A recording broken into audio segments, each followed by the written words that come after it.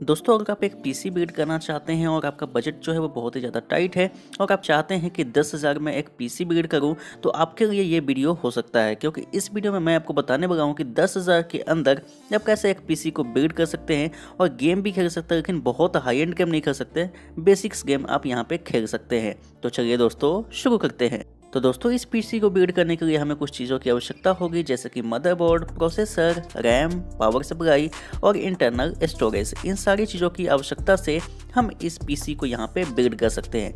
तो यहाँ पे मैं एक एक करके बता देता हूँ कि मैं किन किन चीज़ों का यूज़ करने वाला हूँ और वो कौन से ब्रांड की तरफ़ से आता है, कितनी उसकी प्राइस है और कौन सा जनरेशन या फिर कौन सी चीज़ वो देखने को मिल जाती है। तो सबसे पहले हम यहाँ पे बात कर लेते हैं मदरबोर्ड की। तो यहाँ पे हम यूज़ करने वाले हैं MSI का ए थ्री ट्वेंटी एम जो कि यहाँ पे ए एम फोर सॉकेट के साथ आता है और जितने भी पोर्ट्स आपको चाहिए, जितनी हमारी नीड होती है, वो सारे पोर्ट्स इसमें देखने को मिल जाते हैं। आगे दोस्तों, हम यहाँ पे बात कर लेते हैं प्रोसेसर की, कि प्रोसेसर हम यहाँ पे कौन सी चूज़ कर सकते हैं? तो यहाँ पे हम दो प्रोसेसर को यूज़ कर सकते हैं। आपको जो पसंद है वो यूज़ कर सकते हैं। एक है इंटर की तरफ़ से और एक है यहाँ पे ए की तरफ़ से।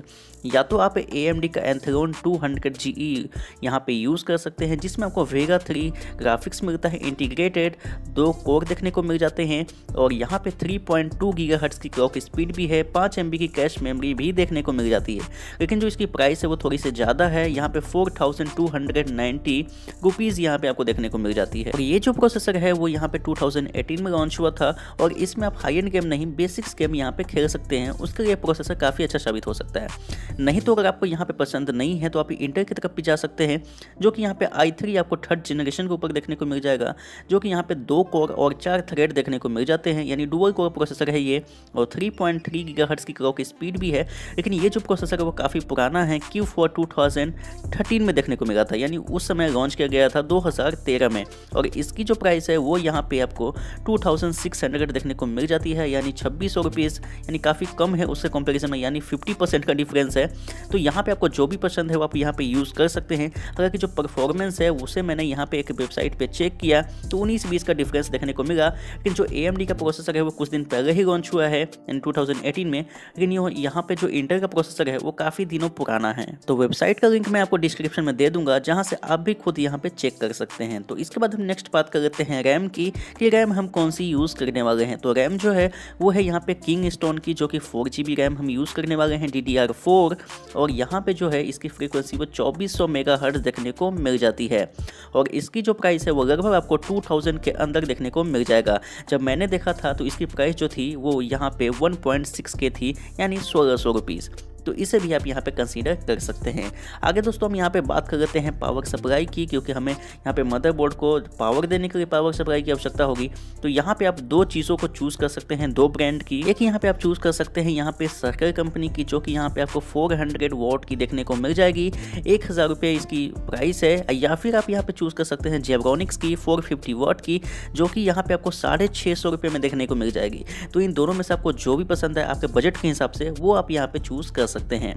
आगे दोस्तों, हम यहाँ पे बात कर लेते हैं इंटरनल स्टोरेज की कि इंटरनल स्टोरेज के तौर पे हम कौन सी यूज़ करेंगे। तो ये है हमारा डब्ल्यू का पाँच सौ जी बी साटा ग्रीन यहाँ पे SSD है, यानी हार्ड डिस्क ड्राइव एस हम यूज़ नहीं कर सकते हैं, क्योंकि हमारी जो बजट है वहाँ पे वो बहुत ही ज़्यादा कम है।